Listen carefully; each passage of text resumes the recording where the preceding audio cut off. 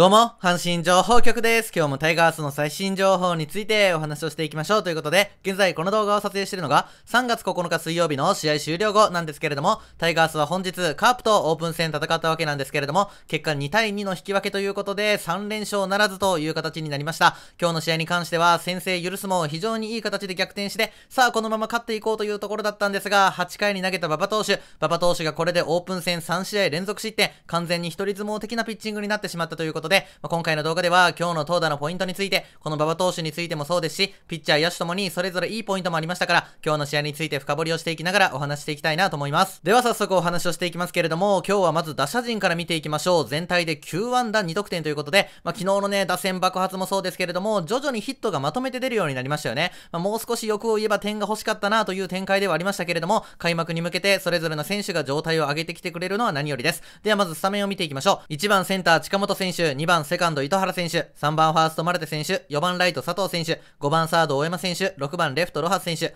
7番 DH 小野寺選手、8番キャッチャー坂本選手、9番ショート熊谷選手。ということで、で、今日の試合に関してはチャンスを作るもなかなか1本出ないという展開が続いていたわけなんですが、1点を追う6回ですね、タイガースに流れが来ました。ワンアウトから糸原選手がレフト前、まあ、糸原選手もここ最近ね、オープン戦ちょっとなかなかヒット出なかったんですけれども、このレフト前というのは糸原選手らしかった。そしてダイソーが小畑選手になって3番のマルテ選手ですね。マルテ選手に関しては今日の試合初回とかもそうなんですが、チャンスでフライを打ち上げてしまったり、まあ、ここ最近の打席内容を見てるとミスショットというのが多かったんですよね。まあ、なのでこのランナーがいる状況でどういうバッティング見せてくれるのか注目していたわけなんですが、146キロのストレート、綺麗にライト線に打ち返して、これでタイムリーツーベース、オープン戦ここまで2安打に終わっていましたけれども、7試合目でようやくタイムリーが出ました。矢野監督は今シーズンこのマルテ選手には打点を上げてほしいというね、まあ、シーズン100打点ぐらいしっかり稼いでチームの優勝に貢献してほしいというコメントを出してますから、今日の試合は3番で出場しましたけれども、今後5番というのも考えられますし、オープン戦も徐々に打席数というのが増えてきて、今日は4打席立ちました。必ず開幕までに仕上げてほしいバッターの一人ですから、マルテ選手が今後またさらにね、状態を上げてくれることを祈って見ていきたいところです。そしてそのマルテ選手のタイムリーツーベースの後、佐藤選手がフォアボール、そして大山選手がレフト前で、ワンアウトランナー満塁から打席が回ってきたのがロハス選手ですね。で、このロハス選手は昨日の試合もそうですけれども、徐々に状態上がってきてるんですね。藤井コーチの打撃指導のもと、ポイントを前にと、前でしばけっていう風なアドバイスをされて、昨日の試合は右打席で2本のタイムリー、で、今日の試合も右打席でヒットを1本打っていて、このチャンスは左打席だったんですよね。まあ、ロハス選手は両打ちですから、試合の中でね、右打席に立ったり、左に立ったり、まあいろいろあると思うんですけれども、この左打席でライトへの犠牲フライ。非常にいい角度で打球を上がって、一瞬行ったかなと思ったんですけれども、ちょっと先っぽでしたかね。まあなので最後の人伸びがなかったというところではありますが、1回の左打席でしっかり結果を出した、これは非常に大きなポイントなんじゃないでしょうか。ロハス選手は打点につなげることを意識しているっていうね、まあそういうコメントを出していますが、今日打点を上げたマルテ選手、ロハス選手、この2人には長打、ホームランというところはもちろんそうですが、ここぞでの打打点ですよね。やっぱりこう得点力アップには外国人選手の打棒爆発というのは欠かせませんから、この2人がぐっと状態を上げてきてくれるっていうのが、タイガースの得点力アップに一番繋がるところですからね、まあ、2人の今後の活躍というところも注目して見ていきましょう。では続いて投手陣見ていきますけれども、今日はどちらかというと野手陣よりも投手陣に注目したい試合だったかなというふうに思うんですね。で、まず先発の秋山投手ですけれども、まあ、秋山投手もおそらく開幕2カード目のこのカープ戦にね、まあ、どこかのタイミングで先発するであろうと言われておりますが、今日の試合に関しては4回1失点という結果でした。で、今日の秋山投手に関しては一番のポイントやっぱり初回ですよね。まず大森選手のツーベース。これ結果ツーベースになったんですけれども、この試合を見ていた福本豊さんが、ロハスの追い方に問題があった。回り込んで補給して、バッターランナーの大森に2塁への進塁を許した。最短距離で打球に入らないといけない。そして近本もロハスもお互いが譲り合ってるようにも見えた。外野手2人の間への打球は、1人が最短距離で追いかけて、もう1人がカバーする。その連携を深めていかないといけない。近本はその後の末金の宇宙間への打球の反応は素晴らしかったし、あそこはもったいなかったということで、まあ、このロハス選手の守備に関しては、決して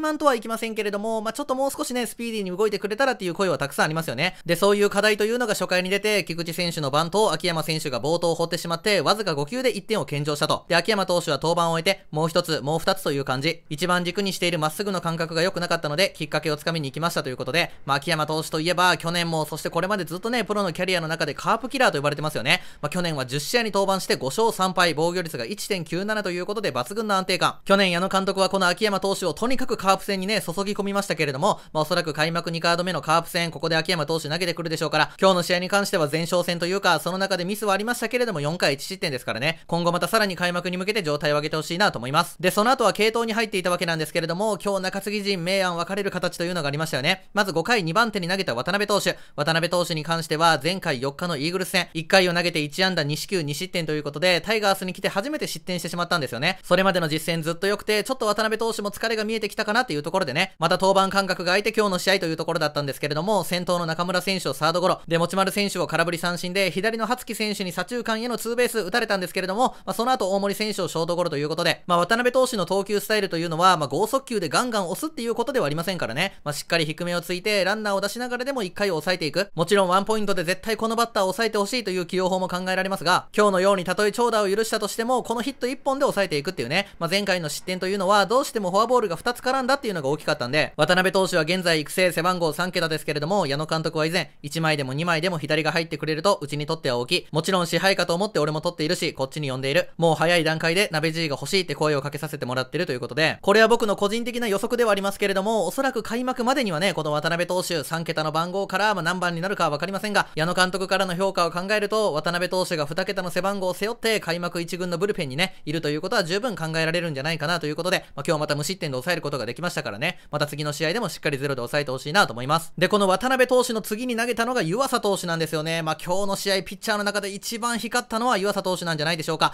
まあ、2回2安打無失点、パーフェクトピッチングの3奪三振ということで、まあ、直球は最速150キロ。で、前回湯浅投手が投げた時にもお話をしたんですけれども、変化球がしっかり低めに決まるようになってるんですよね。まあ、先頭の菊池選手をフォークで空振り三振というところもそうでしたし、4番の末金選手はカーブで空振り三振と、しっかり変化球を低めに集めて、なおかつ緩急も使って最速150キロですからね。で、2月キャンプ中の実戦での湯浅投手のピッチング見てると、全然球速が出てなかったんですよね。まあ、出ても140キロ前後というか、まあ、最速153キロの触れ込みからは、ちょっと程遠いようなボールが続いていたんですが、まあ、やはりキャンプ中の疲労というのが抜けてきて、3月ね、徐々に気温というのも暖かくなってきて、最速150キロですから、もうこの湯浅投手は矢野監督がずっと前からね、まあ、勝利の方程式に入ってほしいと、その力は十分にあるっていう風に評価してるピッチャーですから、前回は1イニングをパーフェクト、そして今日の試合は2イニングをパーフェクトですから、まあ、本当に投げるたびに良くなってるっていうのがこの湯浅投手の現状だと思いますから、開幕1軍入りに向けてまた一つ大きなアピールになったんじゃないでしょうか。このように今日の試合に関しては、秋山投手がミスがありながらもなんとか4回1失点に抑えて、渡辺投手、湯浅投手が2イニング、そして中継ぎ陣が踏ん張ってる間に6回に2点取って、このまましっかりリードを保って3連勝いこうかというところだったんですけれども、8回マウンドに上がった馬場投手、この馬場投手が1アウトから初木選手にフォアボール、で、大森選手をショートゴロに打ち取って、2アウトランナー2塁、ただ菊池選手の初球の時に冒頭を掘ってしまって2アウト3塁、もうこの2アウトランナー3塁になれば、バッターを抑えるしかないですからね、まあ、どういうピッチング見せてくれるのかというところだったんですが、ここでまさかのボーク、何回かキャッチャーのサインに首を振っていて、1回セットを外してね、もう一度こう間を置いてサインを交換したかったんですけれども、1回セットに入る動作を見せて、もう1回キャッチャーのサイン覗き込んじゃったんですよね。まあ、これでボークが取られてしまって、馬場投手はこの回ノーヒットで失点するという流れになりました。実はこれで馬場投手、オープン戦3試合全てで失点ということで、また課題が残る内容になってしまったんですよね。少し前の動画でもお話をしましたけれども、タイガース3月に入って若手中継ぎ右腕がどんどん力をめきめき出してきてるんですよね。馬場投手の前に投げた湯浅投手はもちろん、小野投手、小川投手、浜地投手、石井大地投手ね、まあ、こういうピッチャーたちがしっかりアピールゼロで抑えていく中、この馬場投手はずっと失点が続いていると。だからこそ2アウトランナー3塁になって、もう絶対抑えてやるっていうね、もう菊池選手を抑えることだけにもうガーッと頭が集中していたと思うんですが、結局生還を許したランナーというのもフォアボールですからね、今日はもう馬場投手の完全な一人相撲という流れになってしまったと。もちろん絶対に抑えなきゃいけないっていうね、ぐっと力が入るのはわかるんですけれども、馬場投手は他のピッチャーと比べると経験値というのはがありますからね、まあそれを活かして冷静にどんどんどんどん結果をね、出していってほしいところではあるんですけれども、正直キャンプ中の実戦、そして3月のオープン戦の馬場投手の登板見てると、若手中継ぎ右腕の方が、やっぱりこう1枚2枚ね、上手な状況なんじゃないかなということで、そして今後は2軍からリリーバーたくさん上がってくると思いますからね、若手の投手はもちろんのことを小林投手であったり斉藤投手、2軍で非常に評価が高い投手が今後上がってきますから、馬場投手は今後その入れ替えの対象にならないように、次の試合こそゼロで抑えてほしいなと思います。はい、ということで、今回の動画では、本日3月の9日に行われたカープとのオープン戦についてお話をさせていただきました。まあ、結果は2対2の引き分けということで、3連勝目前だっただけにね、もちろん勝ち負けが重要視される時期ではないんですけれども、リードしていただけに勝ちたかったですよね。ただこういった悔しい引き分けの中にも、外国人選手がそれぞれ打点を挙げた、秋山投手が順調に来ている、そしてリリーフでは渡辺投手、湯浅投手、そして9回に投げた及川投手もね、まあ、ゼロで抑えたということで、まあ、やっぱり今日の試合一番光ったなと思ったのは湯浅投手なんですけれども、今後投手、野手問わず開幕1軍争いというのはどんどん激しくなっていきますからね。また別途動画を作らせていただきたいなと思ってるんですが、前川選手であったり森木投手、この2人がもしかしたらこのオープン戦期間中にね、1軍に上がってくる可能性もあるんじゃないかなと矢野監督は示唆してますから、次のオープン戦というのは木曜日を挟んで金曜日からの3連戦ですね。まあ、そこのオープン戦でどんなアピールを見せてくれるのか、引き続き注目して見ていきましょう。